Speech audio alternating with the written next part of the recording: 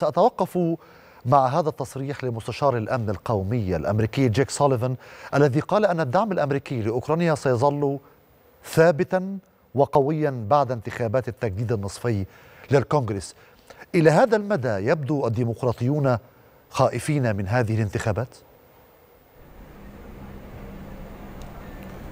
بعد التحية لك تامر زميلي العزيز بالفعل الديمقراطيون مصممون على الدعم الكامل لأوكرانيا.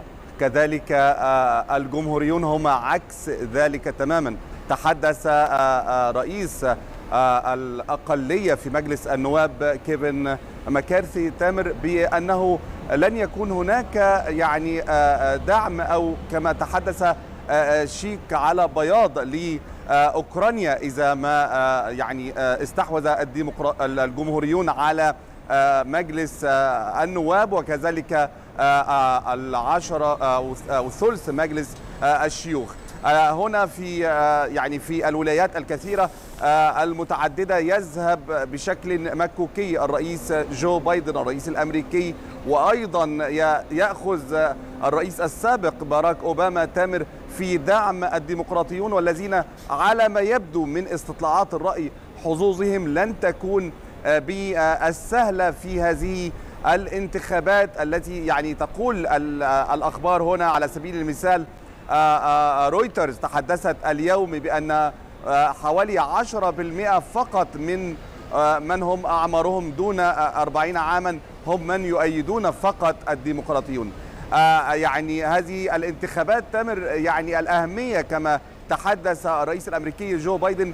لا تأتي فقط بأنها أعداد كبيرة من المقاعد سوف تتغير ولكن أيضا القرارات والبيت الأبيض وما سيصدر من البيت الأبيض سوف يكون له مكتوب له إما الاستمرارية في كما تحدثت زميلي العزيز في دعم أوكرانيا والملفات الأخرى أو إذا ما استحوذ الجمهوريون سوف يعيقون كل القرارات المتبقية في العامين القادمين بالنسبة للرئيس الحالي الرئيس جو بايدن هل هي إعاقة للقرارات الحزبية أم لتوجهات الدولة؟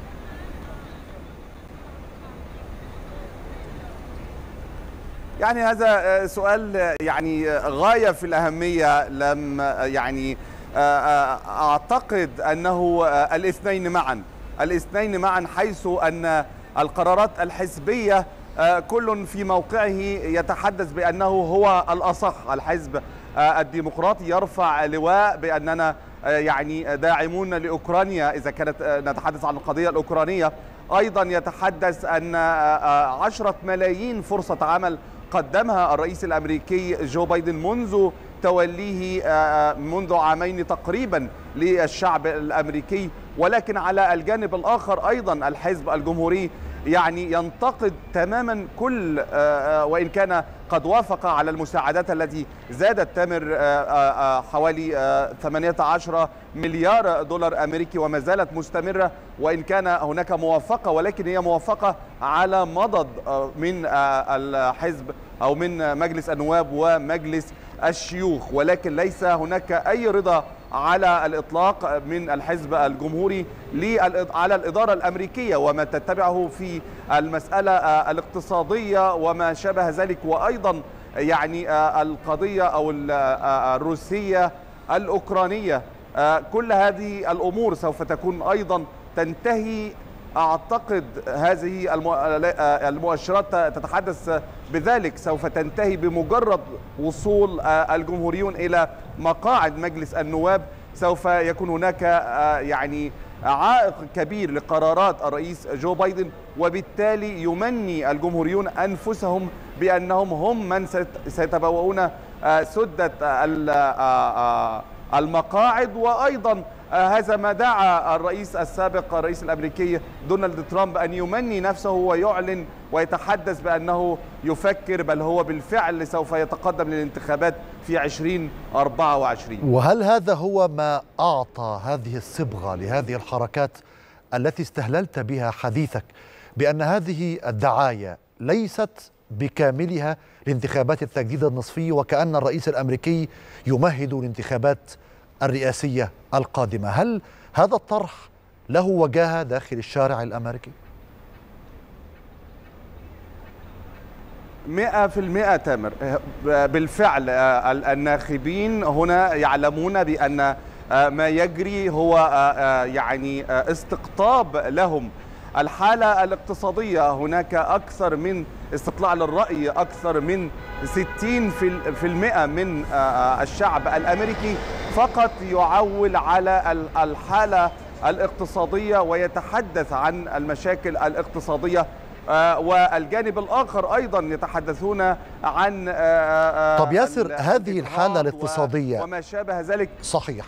اسمح لي ياسر هذه الحالة الاقتصادية ألم نتحدث أن أن مرجوعها نتيجة لهذه الحرب الروسية على أوكرانيا وهذا الموقف في هذا الصراع وهذا الاستقطاب. وبالتبعية كان هناك هذا التأييد المطلق لهذه العملية العسكرية.